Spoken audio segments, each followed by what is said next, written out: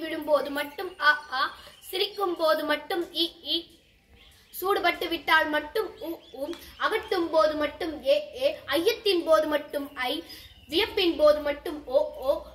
வக்கனையின் போது மட்டும் அவ் விக்கலின் போது மட்டும் அக் என்று தமிழ் மொழி பேசி மற்ற நேரங்களில் வேற்றுமை பேஸ் வேற்றுமொழி பேசும் தமிழர்களிடம் சென்று சொல்லுங்கள்.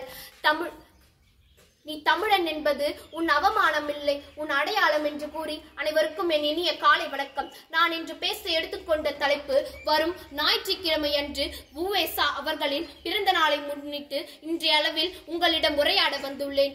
உவேசா அவர்கள் ஆயிரத்து எட்நூத்து ஐம்பத்தி ஐந்தாம் ஆண்டு பிப்ரவரி மாதம் பத்தொன்பதாம் தேதி வேங்கட சுபர வேங்கட சுபையர் சரஸ்வதி அம்மாள் ஆகிய தம்பதியினருக்கு மகனாக பிறந்தார். இவர் ஒரு தமிழ் கவிஞரும் பதிப்பீட்டாளர் இவர் இவர் தமிழுக்கு தொண்டு செய்யாமல் இருந்திருந்தால் சிலப்பதிகாரத்தை பற்றி நாம் அறிந்திருக்க முடியாது.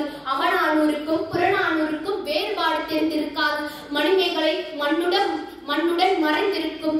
இவர் தமிழை தமிழுக்கு தொண்டு செய்ததாலும் தமிழை வணங்கியதாலும் தமிழ் அன்னையின் தன் தமிழை தமிழை பற்றி கவிதை எழுதியதாலும் தமிழுக்கு சான்றோராய் இருந்ததாலும் இவரை தமிழ் தாத்தா என்றும் தமிழின் முனிவர் என்றும் எல்லோராலும் அன்புடன் அழைக்கப்படுகிறார் இவர் ஆயிரத்து அறுநூத்தி நாற்பத்தி ஆயிரத்து ஆயிரத்து தொள்ளாயிரத்து நாற்பத்தி இரண்டாம் ஆண்டு ஏப்ரல் மாதம் பதினெட்டாம் தேதி தனது எண்பத்தி ஏழாவது அகவையில் இவ்வுலகை விட்டு மறைந்தார். மாதா பிதா குரு தெய்வம் பேச பழகிய மாதாவுக்கும் பேச்சு பிழையை நீக்கிய குரு பிதாவுக்கும் இம்மே எனக்கு பேச எனக்கு பேச நாகரிகம் கற்று தந்த குருவுக்கும் இம்மேடையில் எனக்கு பேச வாய்ப்பு தந்த தெய்வத்திற்கும் மனமாக மனமார்ந்த நன்றிகள்.